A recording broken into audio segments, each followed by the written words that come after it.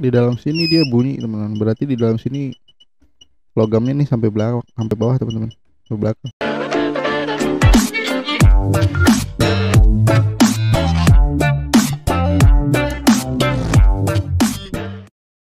Oke teman-teman balik lagi ya.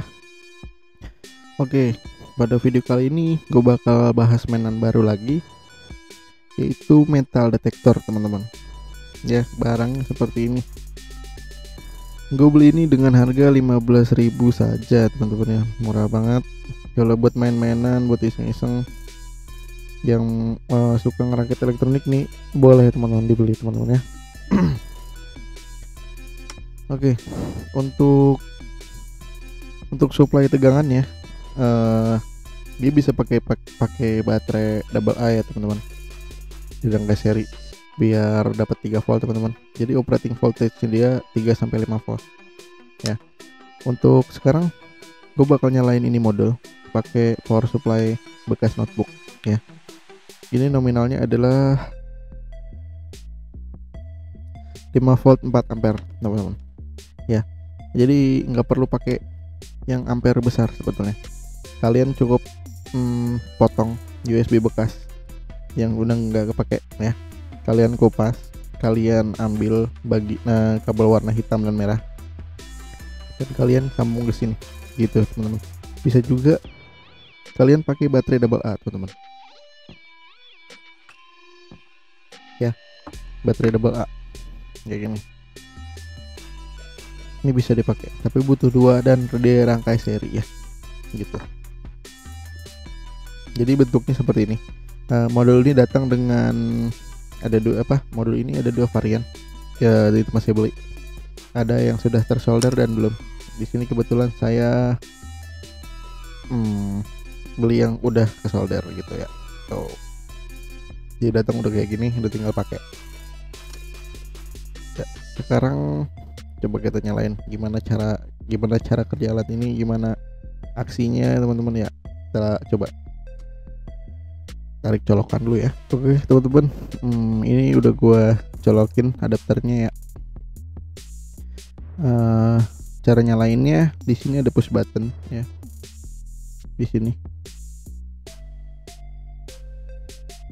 Di sini ada push button teman-teman. Ditekan aja. Nah uh, alatnya langsung kerja ya teman-teman. Sekarang kita akan kalibrasi teman-teman. Jadi gini kalau ke kanan dia makin tidak peka terhadap logam teman-teman. Tapi kalau ke kiri dia sangat peka ya. Atau bahkan malah tidak ada logam pun dia berbunyi ya teman-teman ternyata. Nah lihat. Makanya cara kalibrasinya adalah ini dengan uh, dengan cara cara gua aja ya. Basic kalibrasi segini cukup teman-teman.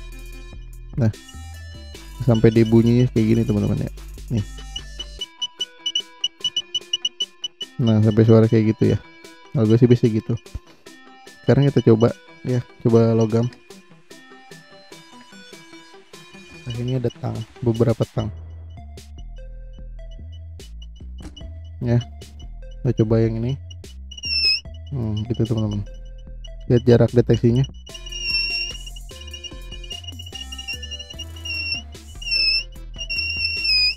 Ya ini jarak deteksinya 1 sampai 5 cm bergantung pada material dan settingan sensitivitasnya gitu ya. Jadi kita juga hmm, bisa mendeteksi logam di dalam apa logam yang dilapisi sesuatu teman-teman ya. Kayak ya. Ini kan kedeteksi logam. Nah, kita pengen lihat apakah di sini mengandung logam, apakah handle-nya sampai apa sampai belakang sini. Kita coba lihat. Nah,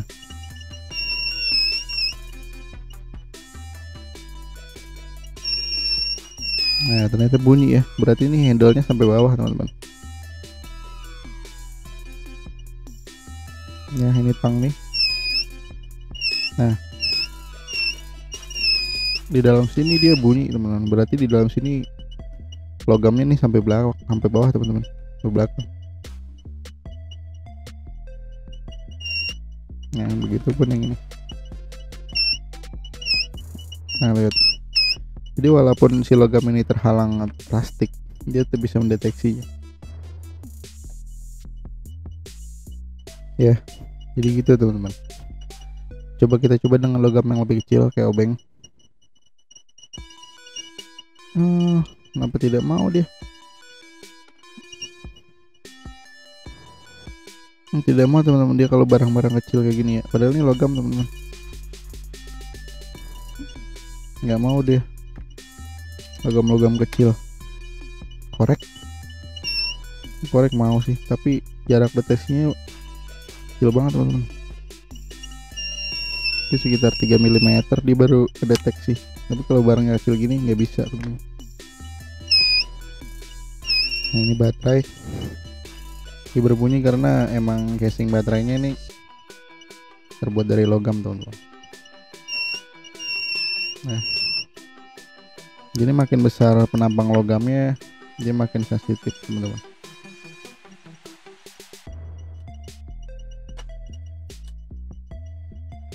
Gimana dengan gunting?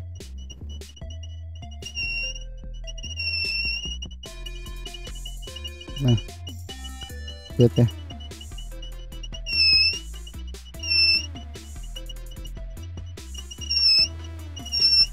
Ini berarti di dalam sini tidak ada logamnya teman-teman. Logamnya cuma sampai sini aja.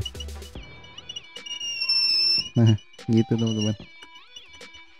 Cukup simpel dan ya lumayan lah untuk eksperimen dan main-mainan iseng-iseng ya dengan harga 15.000 teman-teman ya lumayan sudah dapat PCB bagus kayak gini ya ya cukup sekian teman-teman uh, review mainan baru gua jangan lupa share subscribe teman, -teman kalau kalian suka video-video modul-modul aneh seperti ini ya. Nah matiin dulu. Oke sampai jumpa lagi teman-teman